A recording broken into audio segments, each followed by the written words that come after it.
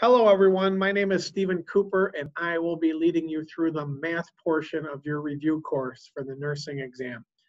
I've been teaching math here at CLC for a couple years, and I've taught at some other places, and I try to make math as enjoyable as I can uh, for students. Um, and I'm going to try to do that with you here.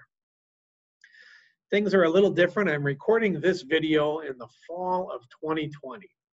And as we know, in the spring of 2020, when COVID 19 hit, you know, we were on severe lockdown for a while here in Illinois, and uh, the college uh, came to a screeching halt, and I lost my classroom and my beloved marker boards. I am, I am very much an old school instructor. I love the marker board. I fill up every board in the room. I lost it. I was right in the middle of teaching a regular semester class, and this nursing course was just about to start. So I had to scramble just using what I had at home to record a bunch of videos. That was really my only way to do it. I, I wasn't even up to speed on Zoom. I didn't have that figured out, so I couldn't even host live Zoom meetings. So what I did is recorded a bunch of videos on the equipment I had at home, which was not very good. Um, Wi-Fi connection was sketchy.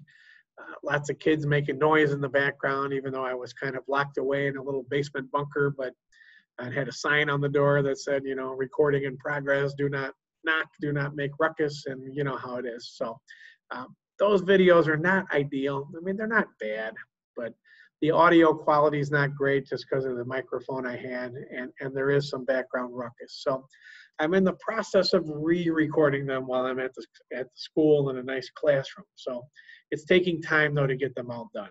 So depending on when you're watching these videos, you're going to have some maybe old and some new mixed together. I'm not necessarily recording them in order. So uh, bear with the kind of hodgepodge nature of the videos. And again, the, the, the, quote unquote poor ones aren't really that bad. It's just the, I, am not proud of them. So I'm, I'm re-recording them. It's just, it's taking time to get it done.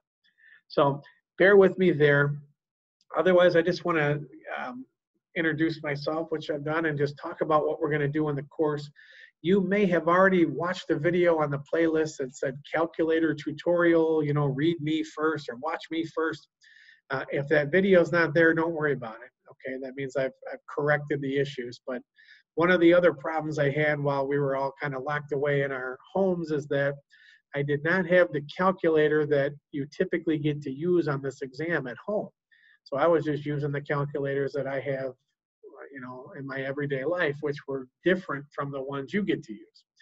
Okay, now again, as I record this video in the fall of 2020, even the calculator is kind of up for grabs. I think there's an embedded calculator in the exam, meaning there's buttons you can click. I assume that's what that means, but um, I've also heard that maybe you could just use whatever calculator you have. So it's still very unclear on, on the calculator story, but uh, the reason I made that tutorial is because some of the keystrokes are quite different on the calculator I was using in many of the videos versus the one that I've been told you get to use. So I finally got my hands on a, on a calculator over the summer and I, I made that little video saying, hey, here's some of the things I did in the videos are different. Here's, here's what to watch out for. So as I re-record these new videos now, I'm going to use the calculator they gave me that and they told me that you get to use. So there shouldn't be any issues with the newer videos, but you may still be seeing some older videos, again, depending on when you're watching. So um, that's that. I'm, I'm, like I said, I'm trying to redo them all to make them a little more polished uh, showpiece. So anyway, right now I just want to share with you a screen of my little agenda uh, for the course here. So let me, let me share that screen. Okay, and we'll just talk about it. Traditionally, the math portion meant for 12 hours in the classroom over the course of four different nights. Okay, so night number one, as soon as students came in, bammo, I hit you with a pretest. I said, hey, let's get a baseline, right? I mean, this class is, I, would, I don't want to say it's, it's for fun. Nobody's taking it for fun, but it's not like a serious semester course. It's, it's, it's a more lighthearted course, but I wanted to hit you with a test immediately to give yourself a baseline. I mean, this is, this is you assessing yourself. I don't need to know how you're doing. You need to know how you're doing, right? Because you're the one faced with this exam. So uh, we took, I handed out a pretest and then I, I just handed out the answers. I did not take the time to go over the answers. And the reason I did that is it, it would take too long where I would actually have to try to teach the entire course right then and there as I'm explaining all these answers. So I said, better, I'll just hand the students the answer key so you can see how you did. And then we'll work through the material. And then at the very end of the course, I gave you another test. And that one we did work through. So as you look at the videos, you'll see there's a video where I just give you an exam. I read the questions because back in the spring of 2020, we didn't even have access to the school to upload a document. We had like nothing. So I, I had a, a, hard copy paper and I just, you know, I just read the questions. I, I, held the paper underneath the camera and I said, you know, here's the questions. So I went ahead and re-recorded the videos again, reading the questions just in case you don't have access. And then I, I quickly, again, read the solutions for you. In an ideal world, you'll be able just to download that material right off of Canvas, the questions and the solutions. Okay, so you shouldn't have to watch those videos, but just in case I made them. All right, so that's the first night, pre-test.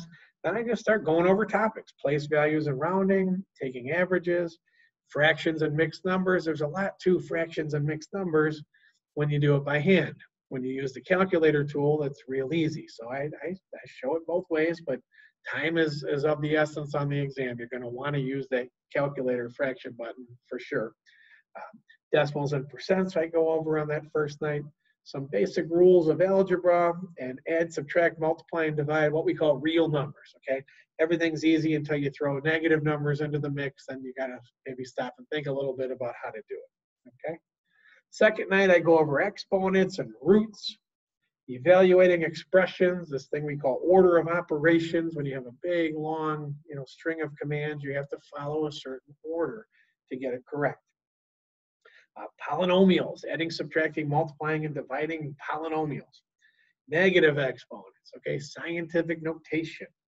Uh, factoring polynomials and simplifying rational expressions. Those are kind of almost obscure topics, in my opinion, for this exam, but there are some questions about it. So we really have to take the time to, to cover it, and we do.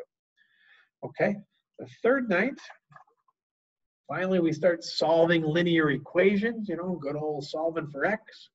We talk about formulas, which are just equations that mean something, okay, and, and how to not only evaluate a formula, but maybe shuffle a formula around if it's not given to us in the exact way we would like to see it. We can shuffle it around.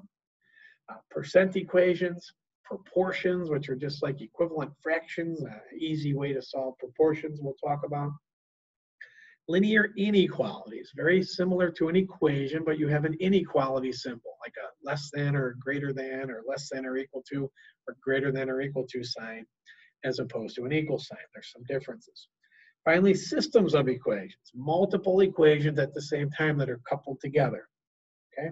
Then we go above linear, we talk about some basic quadratic equations, that's x to the second power, cubic equations, x to the third power, and we talk about the Pythagorean theorem, which is a classic theorem out of geometry about uh, right triangles, okay? Finally, that fourth night, we do some more geometry stuff. We convert units, not only English, what we call British units that we're maybe more familiar with, but also the metric system. You know, we're about the only country in the world that doesn't use the metric system. Now, fortunately, or maybe unfortunately, it is used in the medical profession quite often. You talk about kilograms, you talk about cubic centimeters. Those are those are metric measurements. Uh, milliliters, that's a metric measurement. Okay, and then finally a post test where you take the test and then we do go over every question together. All right. So that's uh, my intent here. I'm going to start making videos. Just, uh, you know, the first video is going to be, uh, well, the first few are going to be about that pretest, and then I'm going to dive into, you know, place values and rounding, and we'll go from there.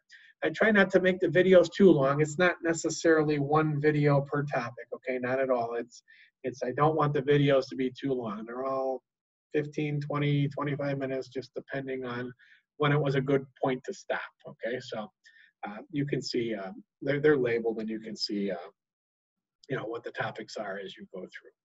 All right, so welcome. Thank you for uh, being part of the class and I hope you get a lot out of it and we will start making videos. Thanks so much.